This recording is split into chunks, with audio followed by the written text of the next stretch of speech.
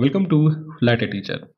Most of my viewers and subscribers have asked me for explaining how to run Flutter application in a real device.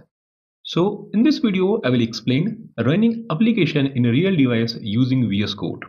Along with that, I will explain different problems and solutions involved with the use of real device. So without wasting time, let's get started.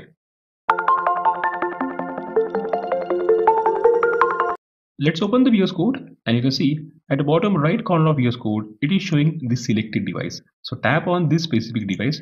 Now VS Code is showing you three different devices that has detected by it. So first one is the Chrome, then the Edge and the Windows here. You can see it haven't selected my real device. This is because I haven't connected my phone 8 in the laptop. So let me take my cable here and let me attach here to my computer. So I have attached here.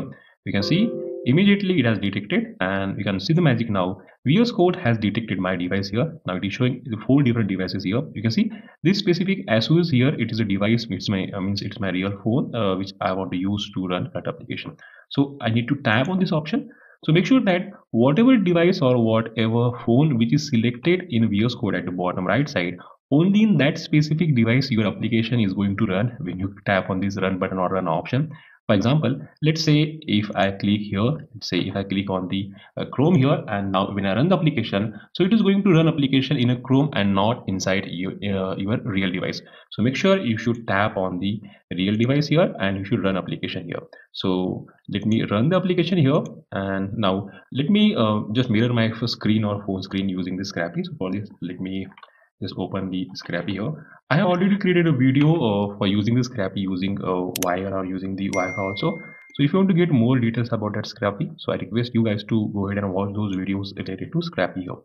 So this is what to process uh, that allows us to run flutter application in a real device. Now let's talk about different types of problems that we are going to face while working with the real device and what are different solutions for that now the first problem that we usually see that when you open a VS Code, you will find that VS Code will detect different devices, but it won't detect your specific phone. You can see here, uh, my VS Code has detected Google Chrome, Edge, and the Windows, but it haven't detected my real phone. So even if you connect your phone, VS Code is not going to detect your phone, but it will detect the Google Chrome, Edge, and Windows. So let's talk about uh, the different reasons for this problem and how we can solve this problem. The first and the biggest reason behind this problem is not enabling the USB debugging in your phone. So being a Flutter developer, it is essential that we should go inside the settings of device and we should enable that USB debugging. So how to do that one, I will explain in brief. For this, we have to tap on the settings icon of your phone, then scroll down at the end, you will find option called system.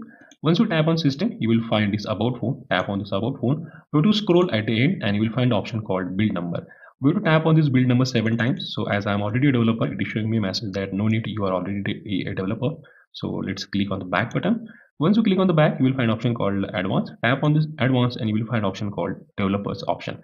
Tap on this developer option. Scroll down a little bit you will find option called this usb debugging. So make sure that you should turn on this usb debugging and you should turn on this developer mode the place where I have find is developer mode, my systems option and all this then and the build number. It might be different in different types of phone. So as I'm using the stock Android that comes with this Asus phone. So this is the place where I'm getting all the settings. But based on different phones or different companies that you have, so place of that specific uh, about phone and the build number might vary. So you have to search for your specific phone.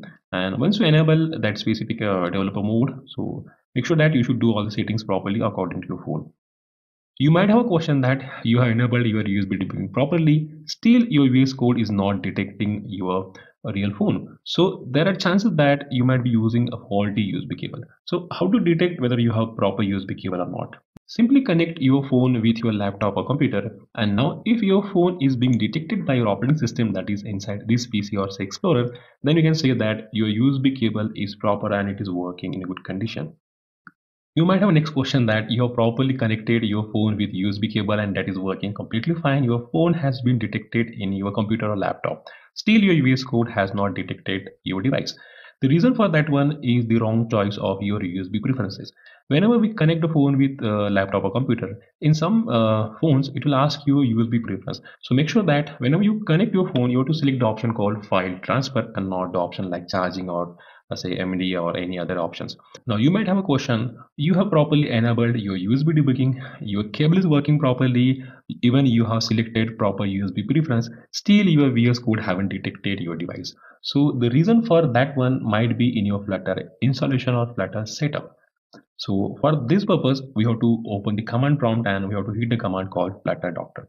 If your Flutter Doctor is giving error like say, for example, unable to locate Android SDK or your Android SDK is not found here, or you might have problems like say command line component tool is missing or Android license status is unknown.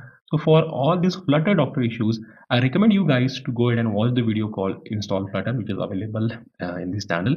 Link is also there in the description. So this video has the steps that you have to follow in order to install Flutter properly. Let's talk about another kind of problem called no device. Uh, when you open a VS Code, uh, at the bottom right side corner of VS Code, it will show you the option called no device. It means VS Code is not detecting any device here, not uh, your real device and not the built-in devices like say Google Chrome, Edge or the Windows in your system. Let's understand reason for that one. The reason for that one is invalid Flutter setup. So for this purpose, open the flutter doctor means open the uh, command prompt and run the command called flutter doctor make sure that your flutter doctor will show that flutter installed properly so that you, you don't have any problem with android license or android tool chains or your android path or any issues. So everything has to be properly here and you should have your VS code installed properly. And now one important thing is if you are running means if you're planning to run your flutter in windows then only this visual studio is important for you so if you are not thinking about uh, executing your Flutter for Windows, then you can skip this particular part for your Visual Studio. Uh, even though if you skip that one or if it is having a problem, your Flutter is going to work. One more thing that we can try is to uninstall this Dart and Flutter extension in your VS Code and we have to reinstall that one. After reinstalling, make sure that you should close your VS Code and restart that one. So there are chances that VS Code will detect your device, maybe a real device or maybe the list of uh, all the built-in devices in your system.